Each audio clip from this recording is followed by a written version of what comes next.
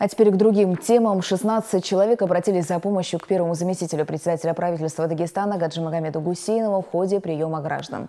Самая частая причина обращения – социальная поддержка инвалидов, в частности, решение жилищных проблем. Так, инвалид первой группы Жасмина Сагидова пришла на прием с мамой. Они живут на съемной квартире уже 20 лет.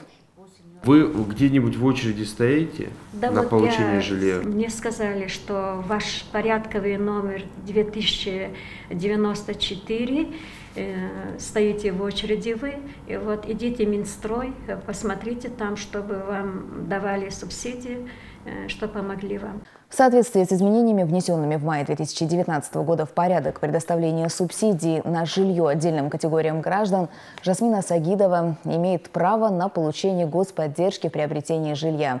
Часть суммы оплачивается государством, часть выдаются в ипотеку. За 10 лет платя 10, не больше 10 тысяч в месяц, могли рассчитаться с этой ипотекой.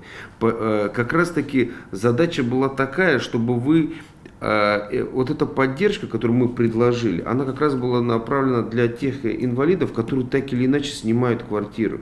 Только платят эти деньги какому-то чужому человеку и в конечном итоге не имеют ни квартиру, ничего да. и не могут не оставить ни детям, никому.